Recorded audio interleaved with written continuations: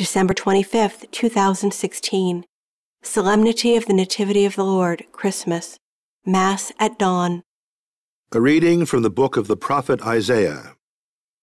See, the Lord proclaims to the ends of the earth. Say to daughter Zion, Your Saviour comes. Here is his reward with him, his recompense before him.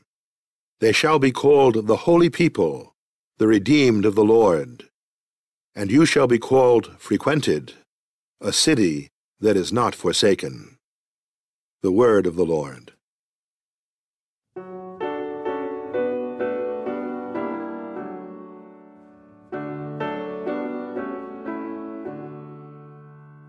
A light will shine on us this day. The Lord is born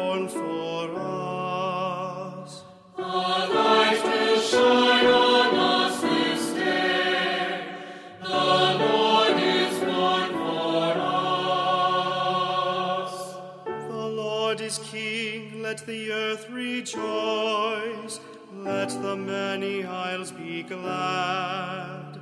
The heavens proclaim his justice, and all people see his glory.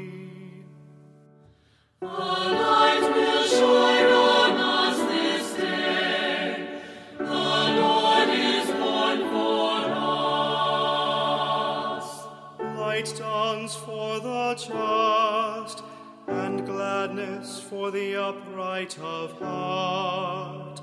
Be glad in the Lord, you just, and give thanks to his holy name. A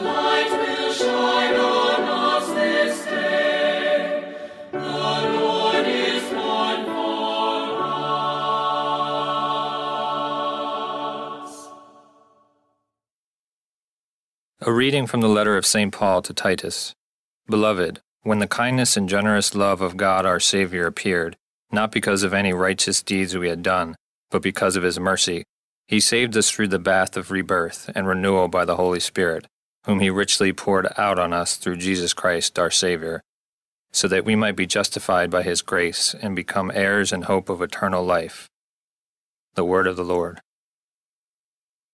A reading from the Holy Gospel according to Luke. When the angels went away from them to heaven, the shepherds said to one another, Let us go then to Bethlehem, to see this thing that has taken place, which the Lord has made known to us. So they went in haste and found Mary and Joseph, and the infant lying in the manger. When they saw this, they made known the message that had been told them about this child. All who heard it were amazed by what had been told them by the shepherds. And Mary kept all these things, reflecting on them in her heart. Then the shepherds returned, glorifying and praising God for all they had heard and seen, just as it had been told to them. The Gospel of the Lord.